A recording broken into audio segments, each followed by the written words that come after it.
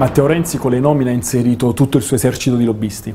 Innanzitutto bisogna dire che le quote rosa sono soltanto un mero specchietto per le allodole, infatti le 11 donne inserite nel CDA, eh, nessuna di queste ha un ruolo operativo.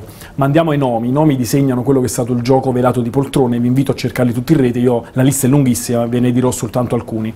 Eni abbiamo la Marcegaglia, la Marcegaglia che è un'azienda, un'azienda personale, Marcegaglia SPA, che ha rapporti con Eni, per cui troviamo subito il primo conflitto di interessi. Filmeccanica troviamo Mauro Moretti, si era lamentato per il suo basso stipendio di oltre 800.000 euro in ferrovie, bene l'hanno accontentato subito, ha più che raddoppiato adesso in Filmeccanica.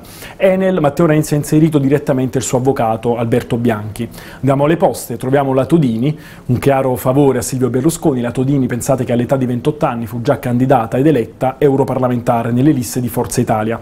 Questa è la politica rottamatrice di Matteo Renzi che mette suoi amici ed amichetti in tutte le poltrone di uh, aziende statali. Mali.